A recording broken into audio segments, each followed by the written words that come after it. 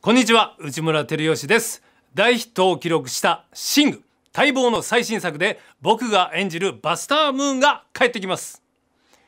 5年ぶりにバスタームーンを演じるということで今度はどんな騒動を巻き起こすのかどんなドラマがあるのかどんな音楽を聴けるのか今からとても楽しみです。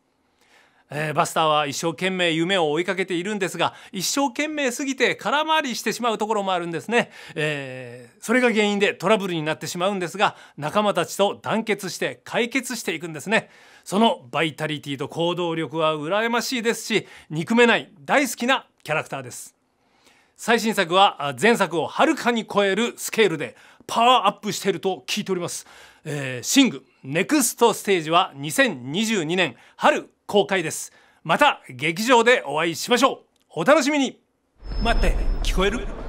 うんうん。こんばんは。バスタームーンです。一夜限りの人生最大のショーをお届けします。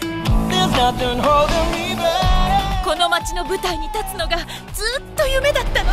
2022年人生最大の夢の舞台でバスターたちの新たな挑戦が始まるネクストステージピギーパワーをぶっ放すぞ